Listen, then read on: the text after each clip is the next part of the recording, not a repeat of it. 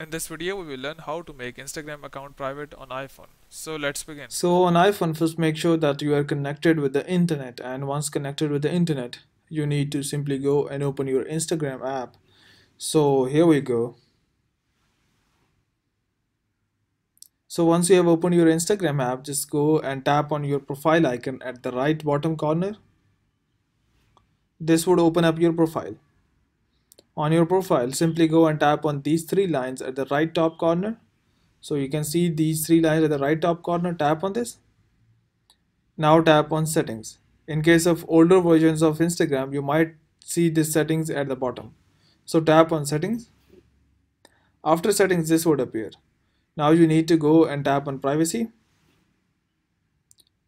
Sorry, go back. Here tap on privacy. Now under privacy, you can see under connections, you can see account privacy. Tap on this. And if it is turned off, it means that your account is public. If it is turned on, it means that your account is private. So once you have turned on this, your account is private and it says when your account is private, only people you approve can see your photos and videos on Instagram. Your existing followers won't be affected. So hope it has helped you in making your Instagram account private on iPhone. But before you go, please like, subscribe and share. Thank you.